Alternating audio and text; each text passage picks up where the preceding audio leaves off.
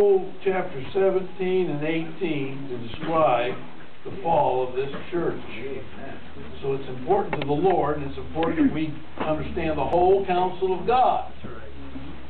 Amen. So, amen. Here you go, Brother Keith. The whole chapter, amen. Chapter eighteen. Revelation chapter 18, starting at uh, verse And after these things I saw another angel come down from heaven, having great power, and the earth was lightened with his glory.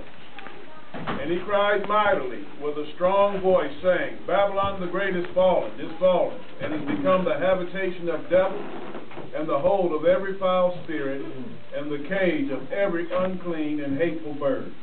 For all nations have drunk of the wine of the wrath of her fornication, and the kings of the earth have committed fornication with her, and the merchants of the earth are waxed rich through the abundance of her delicacies. And I heard another voice from heaven saying, Come out of her, my people, that you be not partakers of her sins, and that you receive not of her plagues. Mhm. For her sins have reached unto heaven, and God hath remembered her iniquity. Reward her even as she hath rewarded you, and double unto her double according to her works, in the cup she hath filled to her double. Mm-hmm. How much she hath glorified herself, and lived deliciously, so much torment and sorrow give her. For she saith in her heart, I sit a queen, and am no widow, and shall see no sorrow. Therefore shall her plagues come in one day, death, and mourning, and famine. And she shall be utterly burnt with fire, for strong is the Lord who judges her. Amen. And the kings of the earth, who have committed fornication and lived de- deliciously with her, shall bewail her and lament her when they shall see the smoking of her burning, standing afar off for the fear of her torment, saying, Alas, alas, that great city Babylon, that mighty city, for one hour is thy judgment come. And the merchants of the earth shall weep and mourn over her, for no more, for no man buyeth her merchandise, their merchandise any more.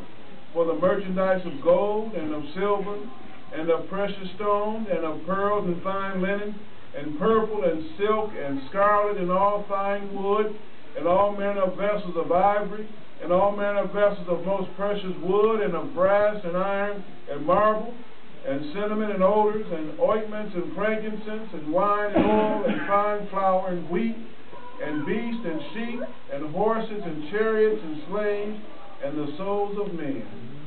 And the fruits that thy soul lusted after are departed from thee, and all things which were dainty and good goodly are departed from thee, and thou shalt find them no more at all.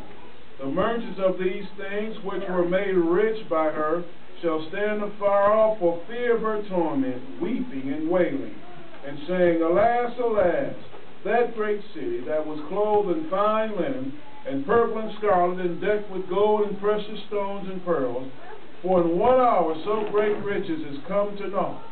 And every shipmaster and all the company in ships, and sailors, and as many as trade by sea, stood afar off, and cried when they saw the smoke of her burning, saying, What city is like unto this great city?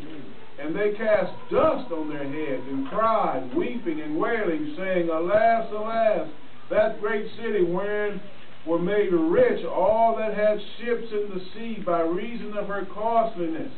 For in one hour is she made desolate.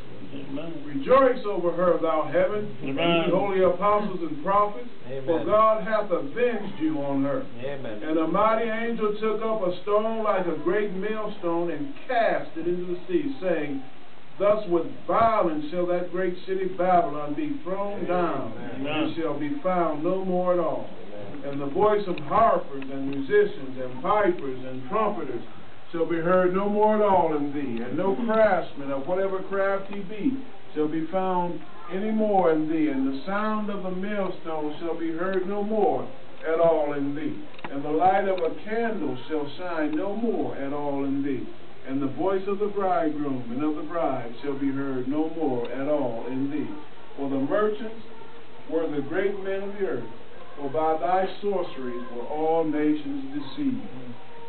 And in her was found the blood of the prophets and of the saints and of all that were slain upon the earth. Amen. Let's pray. Father, we thank you uh, once again for the great hope that the scriptures tell us that there is nothing that escapes your eye, God, in all of the uh, conspiracies and sorceries and all of the underhanded working behind the scenes, whether it be in homes and uh, cities and counties and governments, uh, how small or great, God, it has not escaped your eye. One day they'll have to stand before a holy Mhm. God and Amen. account. Father, herein is the patience of the saints. God, we wait on thee, but until that time, Father, help us to never compromise with Rome. God, show us where we have compromised. God, show us where we might have unwittingly uh, struck a deal anywhere, God. May we completely separate ourselves, God. We're so thankful we aren't Reformed Baptists, God. We don't have anything to be reformed of, but we come from the true church, Lord, that you founded, God, and that you give wisdom for all those.